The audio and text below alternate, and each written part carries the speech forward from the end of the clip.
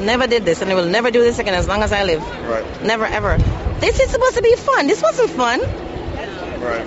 That's why I came out. That's why I said I gotta go this year because they keep saying it's nice, it's good, it's fun. Actually, my, my, my friend was in the line in the front. He came at three o'clock in the morning. Oh, okay, and you were just standing around here Right. somewhere. When he gets in, he'll get his stuff and get my stuff, and I'll have my car waiting for him. Right. I guess they didn't died. know. I guess you know when you're you're not looking where you're stepping. I guess they were running. They're not looking what because people are pushing them. To remember this, you have people behind them to pushing them in. So Right. And they're getting shoved right. forward. So it's not like you can help coming back. So those people couldn't. It was either do that or Right, I go- get stampede too. go down? Right, one or the other. Got to be that. No, when he when he dropped, he had a heart attack and he collapsed, I guess, and the trampede.